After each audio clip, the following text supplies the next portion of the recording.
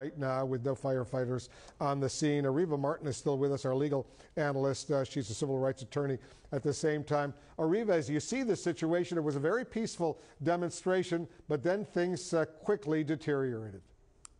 Yeah, we've seen that happen with uh, really throughout the country as we've watched these protests erupt following the uh, brutal murder of George Floyd. And I think we minimize the pain of the protesters when we only focus on the fires or the looting because we, we I don't think we can even understand the pain that the African American community and communities really all over the world are feeling as we watch these deaths play out. When being killed by the police is the sixth leading cause of death for black men, we are way beyond policy changes. We're way beyond body cams or policies as it relates to tasers. We have to have that incredibly uncomfortable conversation in this country that focuses on systemic racism.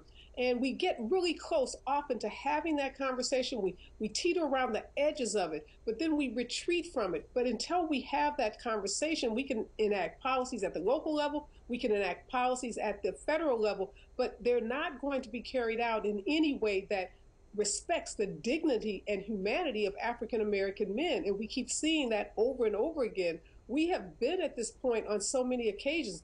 Walter Scott, as Chris Stewart talked about, Michael Brown, Tamir Rice, Trayvon Martin. We can do a roll call of all of the African American men that have been killed by police and what happens in the aftermath. There's intense media uh, scrutiny of the death. There's a protest, there's call for change, and then we go back, we retreat back into that place that's safe without pushing through and having this conversation about systemic racism and how it permeates police departments around this country. And we have to have that conversation at this moment, or we'll be right back here, not in five years, as Chris suggested, but we'll be back probably next week and definitely next month.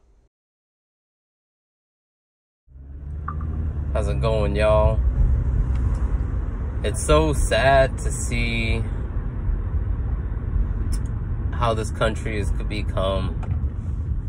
You know, I'm only 31 years old, but yet I feel like I've seen so much in my life to even like to be like a lot of unnecessary things. You know? Yeah, you know the I've had a lot of crazy you know, and things happen to me, I take, um, you know, God has taken a lot from me, but He's also given a lot to me.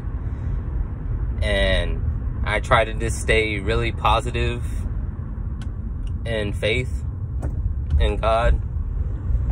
And um, it's just really, really crazy just to see what our law enforcement and um, you know, people in charge are doing to this country.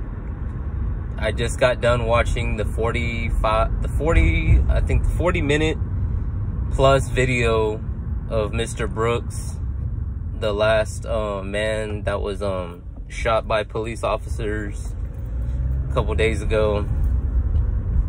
And um, yeah, he was drinking. I understand that he was drinking and he shouldn't have been drinking and driving and shouldn't have fell asleep inside the inside the um you know the order you know he was ordering at wendy's he shouldn't have fell asleep inside the line. You know that was his mistake. 27 years old you know um was being gonna be charged for dwi and then he just had to run. I don't understand why he decided to run but it's very it's it's just disappointing on how this law enforcement is going.